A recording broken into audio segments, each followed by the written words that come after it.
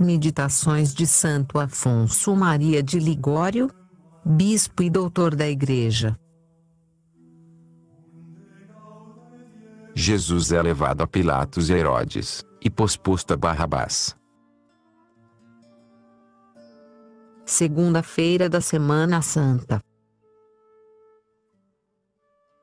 Primeira meditação para a Segunda-feira Santa. E preso o conduziram e entregaram ao governador Pôncio Pilatos. Evangelho, segundo São Mateus, 27,2. Sumário. Imaginemos ver Jesus Cristo, que em meio de uma multidão de gentalha insolente é conduzido ao tribunal de Pilatos, depois ao de Herodes e afinal novamente ao de Pilatos. Este, para livrá-lo, apresenta-o ao povo juntamente com um ladrão e assassino, mas o povo responde: Seja livre Barrabás, e Jesus seja crucificado. Ó céus! Todas as vezes que pecamos, fizemos o mesmo, pospondo nosso Deus a um vil interesse, a um pouco de fumo, a um vil prazer. Primeiro, ao amanhecer, os príncipes dos sacerdotes novamente declaram Jesus réu de morte, e depois conduzem-no a Pilatos, a fim de que este o condene a morrer crucificado. Pilatos, tendo interrogado diversas vezes tanto os judeus como nosso Salvador, reconhece que Jesus é inocente e que todas as acusações são calúnias.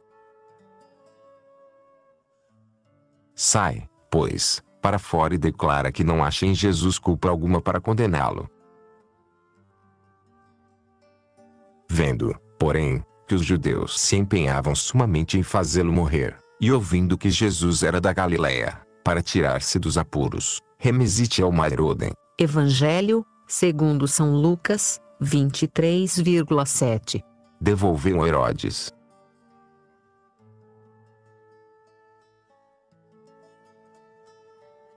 Herodes ficou muito contente ao ver Jesus levado à sua presença.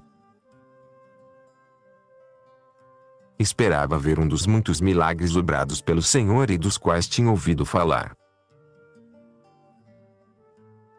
Interrogou muito, mas Jesus se calou e não lhe deu resposta alguma, castigando assim a vã curiosidade daquele insolente. Atos dos Apóstolos e lhe respondebate. Evangelho, segundo São Lucas, 23,9. Aí da alma qual o Senhor não fala mais. Meu Jesus, eu também tinha merecido este castigo, por ter resistido tantas vezes às vossas misericordiosas inspirações.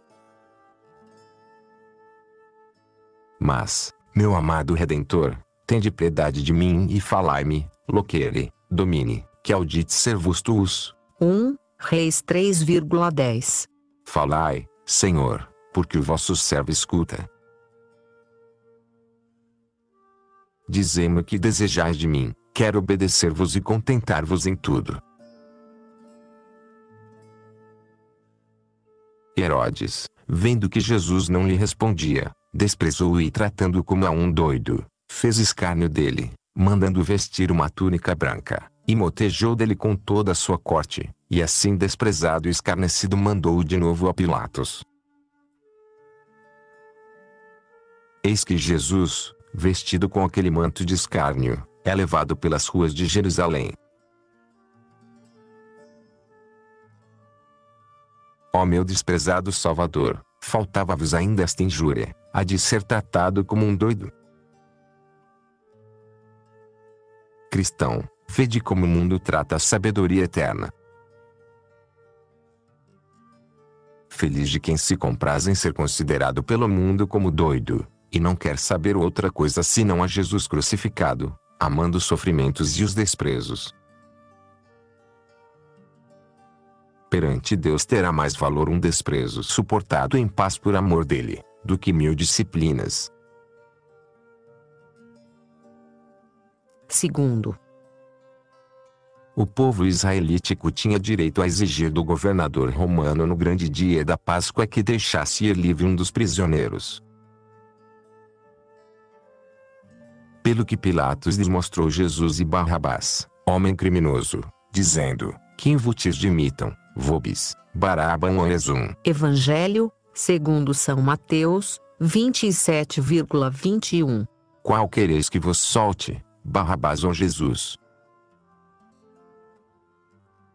Pilatos esperava que o povo com certeza preferiria Jesus a Barrabás, um celerado, homicida e salteador, que todos deviam detestar.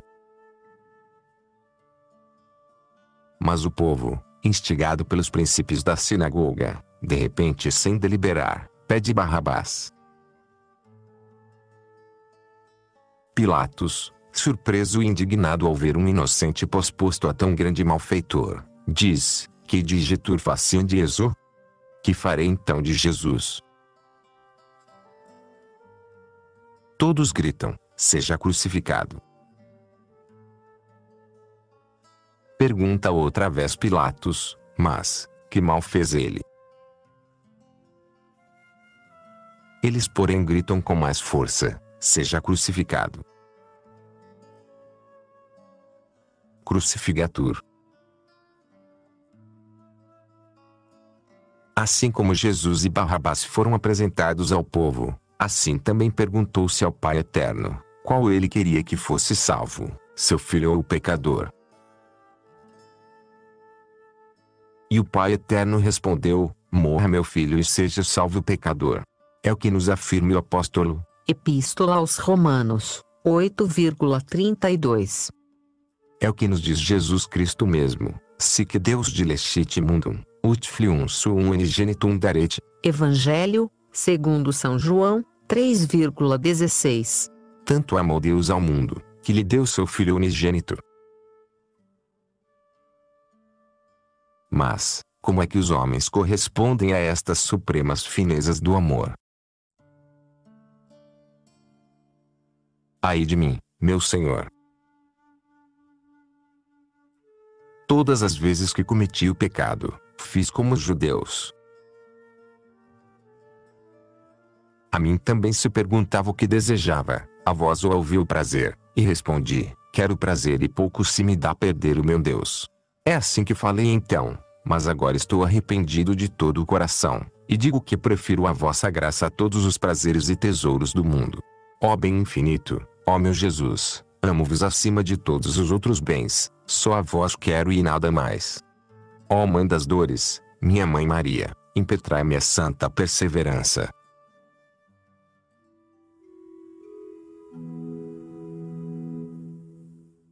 Louvado seja nosso Senhor Jesus Cristo. Salve Maria. Viva Cristo Rei. Senhor, dai-nos a fortaleza dos mártires. São Pio X, rogai por nós.